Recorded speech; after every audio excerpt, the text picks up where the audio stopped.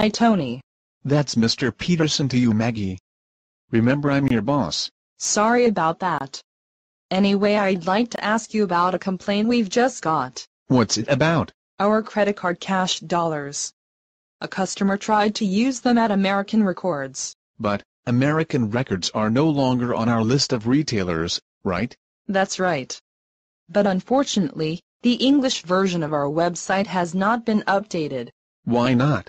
That's because our computer technician does not speak very good English, so he only updated the Chinese pages. Okay, but lots of our customers only read English, so we have a problem. What do you suggest we do? Well, we can get the communication department to do translations, and then synchronize all web page updates at the same time. Okay, that sounds good. Anything else wrong? Yes, the customer also complained about our customer hotline, as she couldn't get through.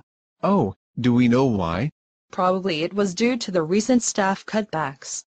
So, now there are not enough staff to answer calls during the peak hours. Yeah, I understand. But we have to save money. Maybe we should advise customers to contact us by email, and guarantee a reply within 48 hours.